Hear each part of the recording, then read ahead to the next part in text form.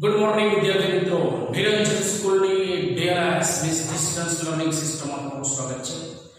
વિદ્યાર્થી મિત્રો, આજે આપણે નાના મૂળતત્વો ભાગ એકમાં ભાગીદારી પેઢીનું વિસર્જન. એમાં આપણે ઉદાહરણ એક અને બેના દાખલાઓ કમ્પ્લીટ કર્યા અને આજે ઉદાહરણ ત્રણ છે. એ ઉદાહરણ એકના ત્રીજા દાખલાની છે આપણે શરૂઆત કરવાની છે. તો ખરેખર એ પહેલાના બીજા દાખલા આપણે જે ભણ્યો, એમાં ખરેખર આપણે શું ભણ્યા? તો માલ મિલકત નિકાલ ખાતે છે એ આપણે મિલકતો વેચાતા હતા અને મિલકતો પછી વેચતા હતા. અહીંયા થોડું અલગ છે. અહીંયા મિલકત છે વેચવાની નથી, પણ ભાગીદાર લઈ જાય છે. તો ખરેખર એ શું બાબત છે અને કેવી રીતે નોંધ થાય, એ આજે આપણે સમજવાની છે. તો લેટ્સ સ્ટાર્ટ પેઢીના વિસર્જન સમયે યંત્રોની ચોપડે કિંમત સિત્તેર હજાર છે. એટલે કે પેઢીના પાક સમયમાં એ યંત્રો સિત્તેર હજારની કિંમતે દર્શાવેલા છે.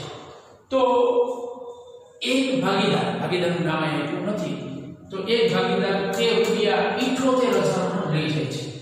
એટલે પેઢીનું વિસર્જન થયું અને ખરેખર એમાં એક યંત્રો છે બહુ સારી બાબત હશે અને સારી કન્ડિશનમાં હશે.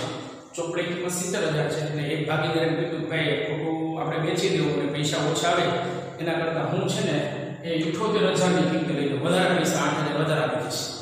એટલે અત્યાર સુધીના જે બે દાખલાઓ થયા ને, એમાં આપણે મિલકતો વેચી જતા હતા. એટલે રોકડ ખાતે ઉધાર કે માલ મિલકત નિકાલ ખાતે જમા.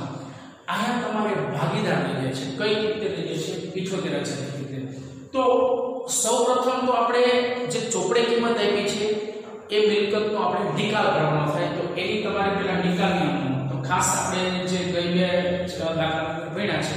એ સિસ્ટમથી ભણીશું તો ચોપડે કિંમત છે એ તમારી સિત્તેર હજાર રૂપિયા છે.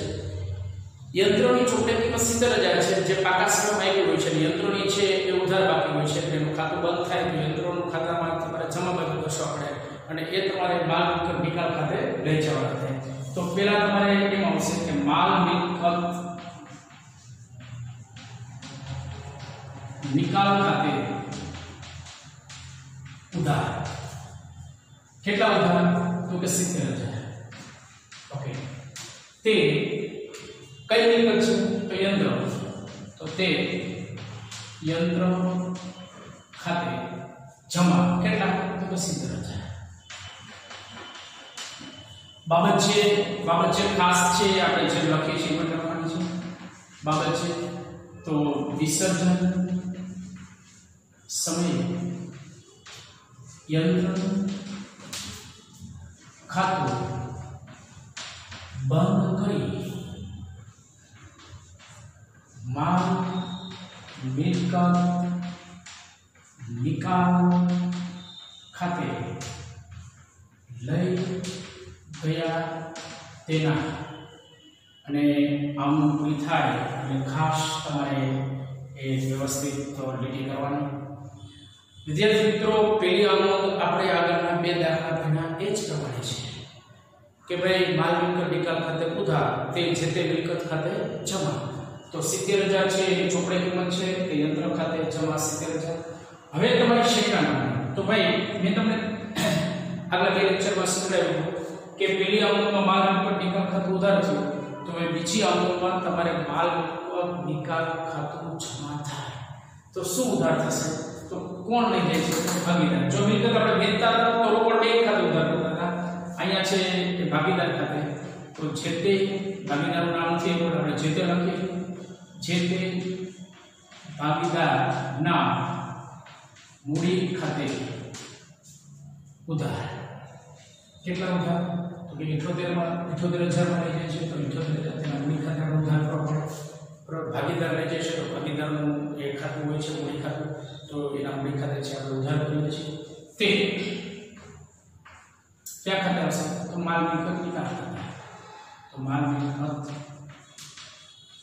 નિકાલ ખાતે તો માલ મિલકત નિકાલ ખાતે છે કેટલી રકમ, તો ઇઠોતેર હજાર ઇઠોતેર હજારમાં લઈ ગયા એટલે ઇઠોતેર હજાર આવશે આટલું કમ્પ્લીટ થયા પછી તમારે એક બાબત છે, તો બાબત છે આપણે જેમ લખીએ છીએ એ રીતે કે ભાઈ, વિસર્જન સમય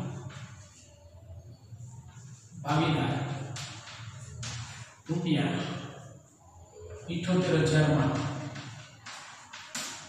યંત્ર લઈ ગયો તેને યંત્ર છે એ સિત્તેર હજારની કિંમતનું છે. જ્યારે ભાગીદાર છે એ ઇઠોતેર હજારની કિંમતે લઈ જાય છે. તો આપણે ઇઠોતેર હજાર કિંમત છે ખાસ સમજશું. આ મહત્વની બાબત છે. આટલું કમ્પ્લીટ થયા પછી આપણે અંડરલાઈન છે ખાસ કરવાની. ટોટલ છે તમે કરી શકો. ટોટલ નાની હોય તો કદાચ ન કરો તો ચાલે તો આનો સરવાળો બરાબર સાત ને સાત ચૌદ એટલે એક લાખ અડતાલીસ હજાર થશે અને ટોટલ એક લાખ અડતાલીસ હજાર તો ટોટલ છે હંમેશા ઉધારા જમાના સરખા હોય છે તો વિદ્યાર્થી મિત્રો દાખલો છે એ સરળ છે દાખલામાં નવીન શું શીખ્યા તો અત્યાર સુધી આપણે મિલકત છે વેચાણ કરતા હતા એટલે રોકડ ખાતે ઉધાર કરતા હતા. અહીંયા તમારે મિલકત છે, ભાગીદાર રહી જાય છે. એટલા માટે ભાગીદારના મૂડી ખાતે આપણે ઉધાર કરીએ છીએ. ખાસ યાદ રાખજો, પરીક્ષા માટે આ ઇમ્પોર્ટન્ટ દાખલો છે. આના જેવા બે દાખલા છે, આપણે ગણવાના છે. વિદ્યાર્થી મિત્રો, ખરેખર આપણી ડિસ્ટન્સ લર્નિંગ સિસ્ટમ છે, એમાં જબરજસ્ત વિદ્યાર્થીઓનું પ્રસિદ્ધ મળી રહ્યું છે. અને ખરેખર ઘણા વિદ્યાર્થીઓ નિયમિત વર્ક કરવા પણ માંડ્યા છે. અને ખરેખર જો તમે નિયમિત વર્ક કરશો, તો તમને એમાં ખરેખર ઘણું જાણવા મળશે અને તમારું જે એજ્યુકેશન છે એ બેટર ધેન ધ બેસ્ટ બનવાના પ્રયત્ન થશે. તો આજે આપણે અહીં લેક્ચર પૂરો કરીએ છીએ. નમસ્કાર, અસ્તુ હેવ નાઇસ ડે